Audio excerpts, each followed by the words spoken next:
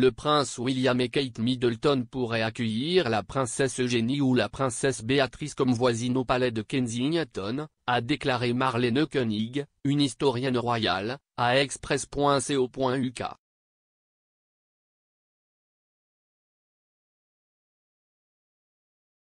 Le duc de Cambridge a admis cette semaine avoir souvent caché le stress et les tensions de la journée lorsqu'il travaillait pour East Anglia Air Ambulance. Il a déclaré qu'il évitait souvent de mettre un fardeau sur sa femme, Kate, duchesse de Cambridge et leur jeune famille. Plus précisément, il a noté à quel point le flux constant d'appels de personnes dans le besoin pendant les conditions les plus stressantes rendait le travail extrêmement difficile.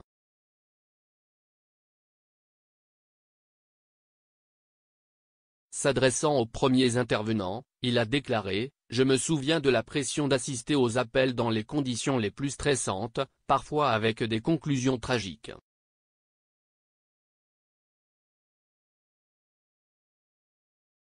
Je me souviens du sens de la solidarité avec mon équipe, se rassemblant pour faire de notre mieux et partageant le poids de la responsabilité.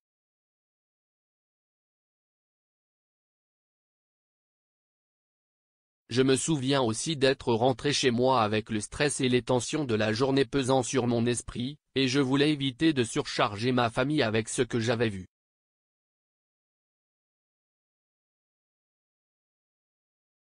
Quand j'ai parlé aux ambulanciers paramédicaux Will et Chloé plus tôt ce mois-ci, cela m'a rappelé la complexité de parler du travail à la famille et aux amis.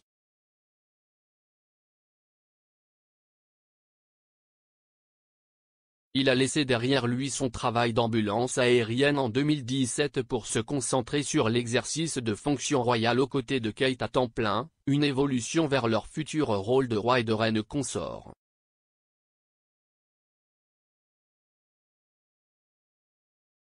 Le couple a eu quelques semaines chargées avec la Royal Variety Performance et une série d'événements du jour du souvenir, associés aux autres travaux qu'ils ont réalisés, comme la première remise du prix Earthshot le mois dernier.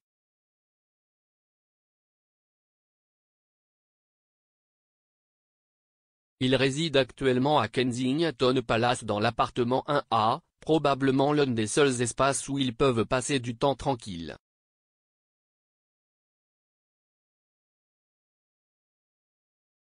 En effet, leurs voisins de l'appartement 1, le prince Richard, le duc de Gloucester et son épouse Brigitte, ont déménagé en 2019 pour réduire leurs effectifs, selon les informations.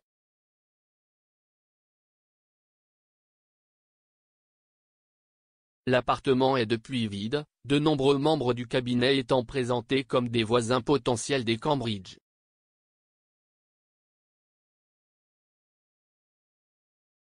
Maintenant, un nouveau match potentiel a été fait.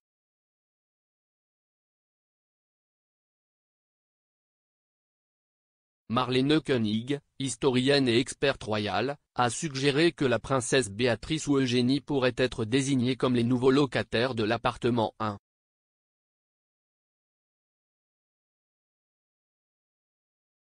Parlant des différentes résidences et maisons royales que possèdent les membres de la famille royale et des difficultés liées à qui pourrait les habiter à l'avenir, elle a déclaré à express.co.uk le mois dernier, la maison de la princesse Anne est la sienne et elle ira à ses enfants, ce n'est pas une maison royale.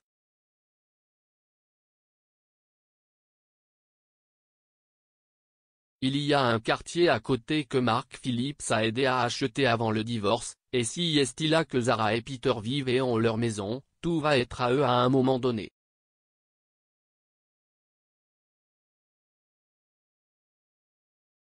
Mais d'autres maisons et résidences royales, en ce moment, il s'agit plus de maintenir ce qu'elles ont.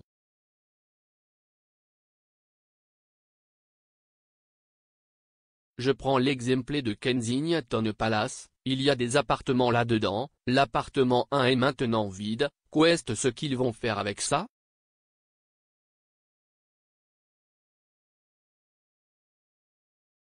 Qu'est-ce ce que les palais royaux historiques vont faire avec ça?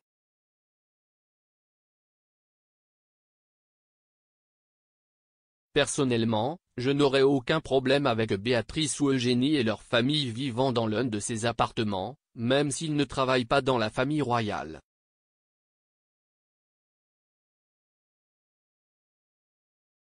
Il paierait l'entretien et la sécurité et ce genre de choses.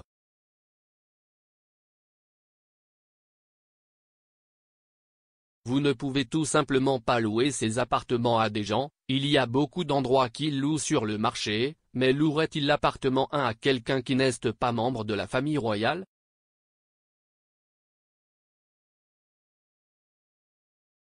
Parce que si est-il littéralement juste à côté de l'endroit où vivent les Cambridge.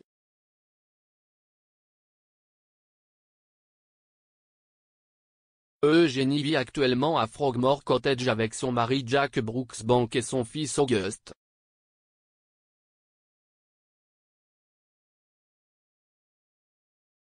Béatrice, quant à elle, réside au palais Saint James avec son mari, Edoardo Mappelimosi, et leur bébé Sienna, né le 18 septembre.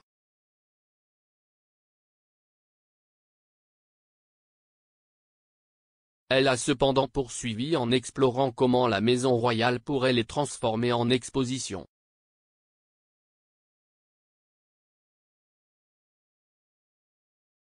Elle a déclaré, ils peuvent utiliser le palais pour autre chose, si y est une possibilité.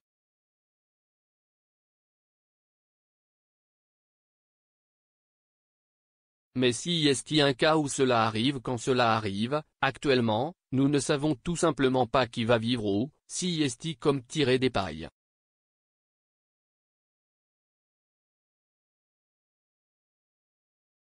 L'appartement 1 de William et Kate peut tromper ceux qui ne le connaissent pas.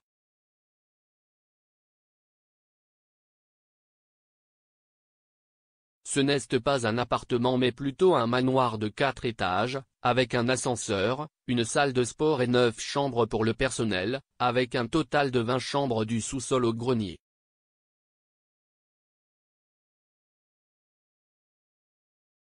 Les rapports suggèrent qu'il possède même son propre jardin clos, 5 salles de réception, 9 chambres pour le personnel, plusieurs salons et une salle à bagages.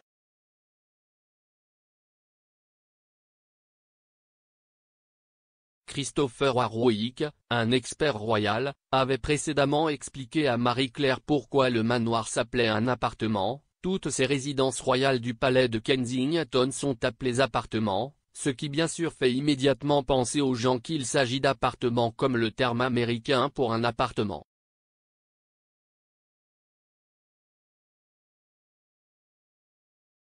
Ils ne le sont pas.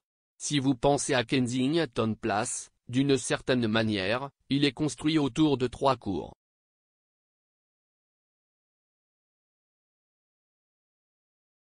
Si vous pensez en quelque sorte à ces magnifiques maisons mitoyennes en briques rouges.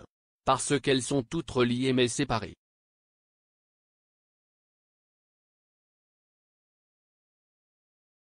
L'appartement un n'est pas moins grandiose, un autre manoir avec 21 chambres.